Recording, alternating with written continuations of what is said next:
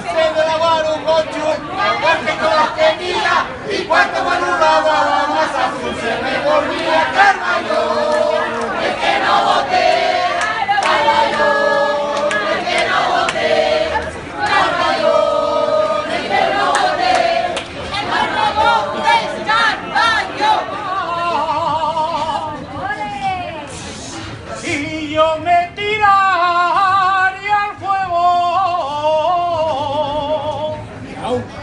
y me mis